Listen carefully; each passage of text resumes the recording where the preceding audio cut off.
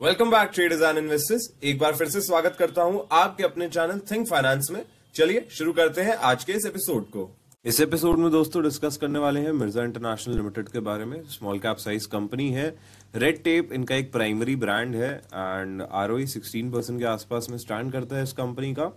आज के दिन में थर्टीन का ब्रेकआउट जो है स्टॉक में हमें देखने को मिला है। सेल्स की यहाँ पे बात करें, दिसंबर के अंदर बहुत बढ़िया सेल्स रिपोर्ट करी है यहाँ पे कंपनी ने, ऑपरेटिंग प्रॉफिट मार्जिन। 16 परसेंट के आसपास देखने को मिला है। एनुअल सेल्स की बात करते हैं तो देखें, यहाँ पे ये कुछ ऐसी कंपनीज़ हैं जो इन लेवल्स पे हमें काफ़ी ज़्यादा अट्रैक्टिव लगती हैं एंड काफ़ी अच्छे प्राइजेस पे हमारे हिसाब से मिल रही है ये कंपनी लॉन्ग टर्म परस्पेक्टिव के हिसाब से बात कर रहे हैं पैसिव इन्वेस्टमेंट स्ट्रैटेजी के हिसाब से बात कर रहे हैं। नेट प्रॉफिट की बात करते हैं 110 करोड़ रुपए के आसपास देखने को मिला है। एंड जो कि काफ़ी बढ़िया चीज़ है, अभी तक हाईएस्ट एवर है जो रिपोर्ट करा है कंपनी ने।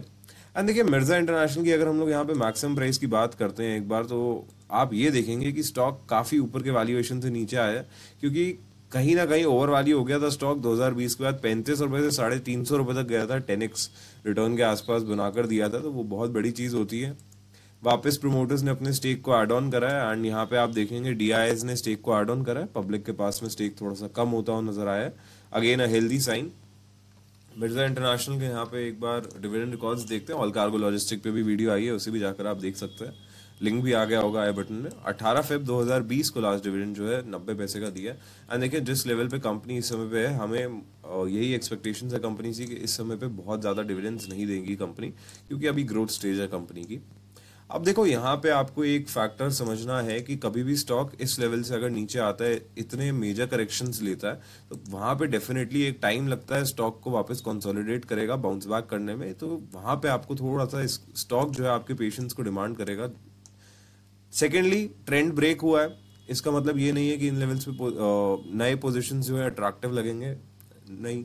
दो सौ पचहत्तर, अस्सी रुपये का वेट करें, उसके बाद नए पोजीशंस को ऐड करते हैं तो वो थोड़ा सा हेल्दी साइड पे रहेंगे। ये थोड़ा सा रिस्की साइड पे अगर आप सीएमपी पे बाय कर रहे हैं एंड देखिए लॉन्ग टर्म इन्वेस्टमेंट के हिसाब से ये चीज़ नहीं है, ये सिर्फ़ स्विंग ट्रेड के हिसाब से लॉन्ग टर्म इन्वेस्टमेंट के हिसाब से हर छोटे मोटे जोन में एस टाइप जो है हम लोग करते हैं स्टॉक के अंदर तो that is one thing but ये प्योरली लॉन्ग टर्म के हिसाब से मैं आपको बता रहा हूँ।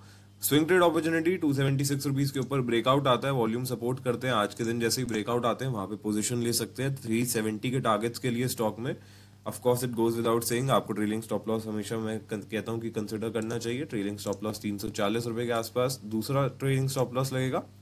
पहला यहाँ पे तीन सौ सत्रह रुपए के आसपास लगेगा तो ये कुछ लेवल्स है जो आपको ध्यान में रखने चाहिए। एंड इसके अलावा यहाँ पे स्टॉप लॉस की बात करते हैं अगर हम लोग मैं यही अज्यूम कर रहा हूँ कि आप 276 के ऊपर की बात करेंगे तो 262 के आसपास में आपका स्टॉप लॉस लेवल रहेगा। छोटे से स्टॉप लॉस के साथ में अच्छा रिस्क रिवॉर्ड रेशियो के साथ में ट्रेड जो है बन सकता है।